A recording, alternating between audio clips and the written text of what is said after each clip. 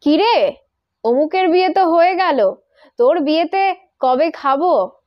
কিংবা এখনও পাত্র দেখা শুরু করলেন না? এ বাবা, বিয়েটা তবে কবে দেবেন? বয়স তো আর থেমে নেই। অথবা শুনলাম তো মেয়ের একটা রিলেশন আছে, তাও কেন বিয়ে করছে না ভগবান জানে?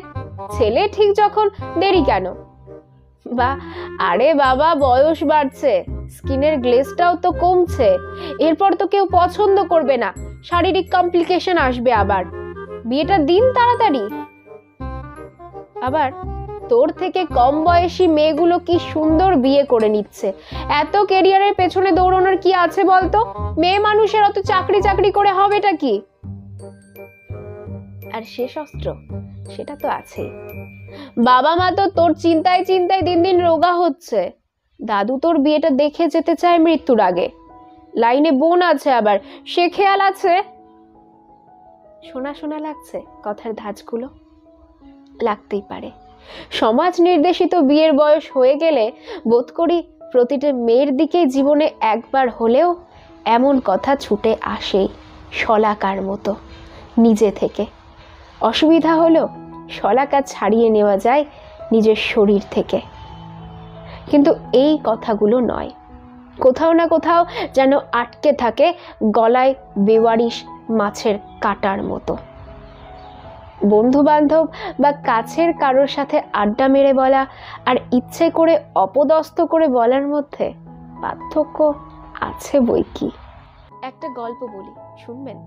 আমার বন্ধুর দিদির বিয়েটা যেদিন হলো শর্ট নোটিসে বিয়েবাড়ি গিয়ে চমকে উঠে আবিষ্কার করলাম ও যেমন ওর জীবন সঙ্গী থেকে শ্বশুর বাড়ির লোক, আদৌ তেমন নয়।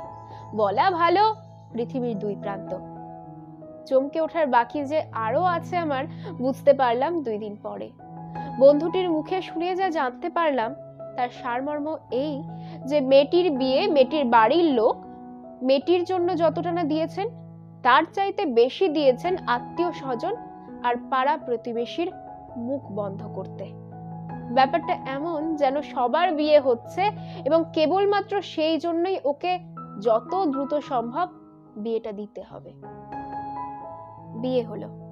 মেয়ে শ্বশুর বাড়ি গেল বিসমিল্লার সানায়ের সুরে। আবার ফিরেও এলো মাস দুয়েক পরে বুকের মধ্যে জমতে থাকা চাপা কান্নার সাওগাতে।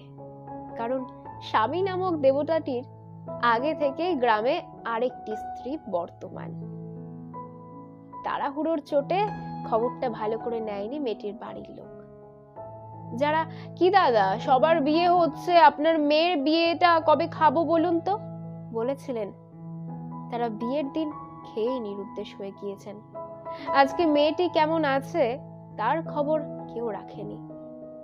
কথাটা কঠোর শোনালেও সত্যি। বিয়েটা কোনো কোর্সে ভর্তি হওয়া নয়, যে সবাই হচ্ছে তাই লাইনে দাঁড়াতে হবে। কোনো প্রতিযোগিতা নয় যে দৌড়াও রেসের ময়দানে। কার আগে হয় দেখি সেটা। বিয়েটা তো কোনো লোক দেখানো জিনিস নয়। বিয়েটা একটা জীবন, একটা গোটা জীবন, যেখানে সাধারণ পরিবার থেকে উঠে আসা একটা ছেলে বা মেয়ের পক্ষে একবার জড়িয়ে গেলে সেই বন্ধন ছিন্ন করা, নিজের শরীর থেকে একটা অঙ্গ ছিন্ন করার চাইতে কম যন্ত্রণাদায়ক কার আগে বিয়ে হলো, কার পরে এইটা বড় কথা নয়। বড় কথা হলো কে কতটা সুখী আছে দিনের শেষে। Late marriage is always better than bad marriage আর রিলেশনে থাকলেই পড়ি কি মরি করে বিয়ে করতে হবে, এটা তো ভারী অন্যায়। নিশ্চয়ই করবে, তবে যেদিন ওদের ইচ্ছে হবে। যদি কেউ সংসার করতে বেশি পছন্দ করে বাইরে বেরোনোর চাইতে, তবে তার বাইশ বছরের বিয়েটা কোনো অন্যায় নয়।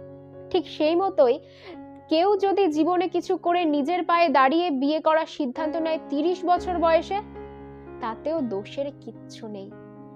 তবে একটা দিক দেখতে হবে, কুড়ি হোক বা তিরিশ, বিয়েটা যেন নিজের সম্মতিতে একটা জীবনের গুরুত্বপূর্ণ অধ্যায় শুরু করার ইচ্ছে নিয়েই করা হয়। অমুকে কি বলল বা তমুকের বিয়ে হয়ে গেল সেই কারণে নয়। প্রেগনেন্সি আনা বা কমপ্লিকেশন এড়ানোর জন্য চিকিৎসাবিদ্যা আজ অনেক উন্নত। আর প্রথমেই খারাপটা কেন ভাবছেন? কাছের মানুষগুলোর কথা মানা যায়। কারণ তারা চিন্তা করে, ভাবে, ভালোবাসে, তারা বলতেই পারে। কিন্তু বহু অভিভাবককে দেখেছি, তারা নাকি আজ বাইরে বেরোতে পারে না, পাড়ার লোকের ভয়ে। ঘরে একটা অবিবাহিত মেয়ে আছে বলে। তাদের কাছে আমার একটাই প্রশ্ন মেয়েটির একটা দায়িত্বও সেই চেনা পরিচিত নিয়েছে। জ্বর হলে একদিনও খবর নিয়েছে আপনি কেমন আছেন?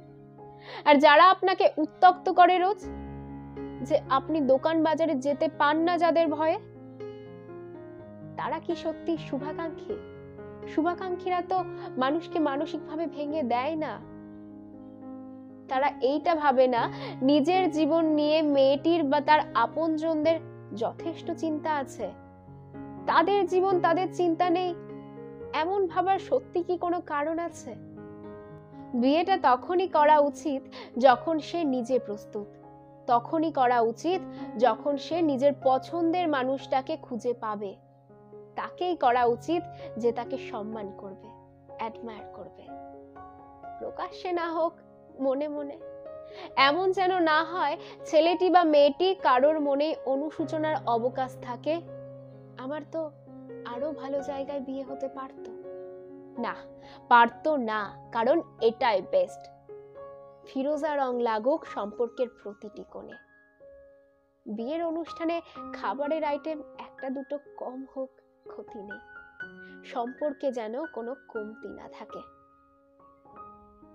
কলমে দেবারতী গোস্বামী, কণ্ঠে আমি প্রিয়া দাস।